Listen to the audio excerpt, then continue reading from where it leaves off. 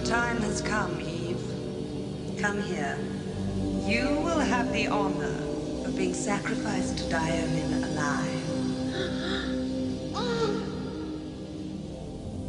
There is a legend of an ancient evil. Something's been found in Stonerigg Cavern. A legend that no one would ever believe. Legend has it that Stonerigg Cavern was the lair of the D'Ampton Worm.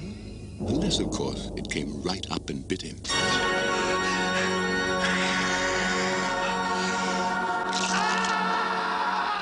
Two, three, four. I hear you're having trouble with a snake. Dionin was a pig, snake god. I'm snake watching. It's as if they were just swallowed up. John D'Ampton went a fishing once, a fishing in the weir. He caught a fish upon his hook, he thought looked mighty queer. Now what the kind of fish it was, John D'Ampton couldn't tell. But he didn't like the look of it, so he threw it down a well.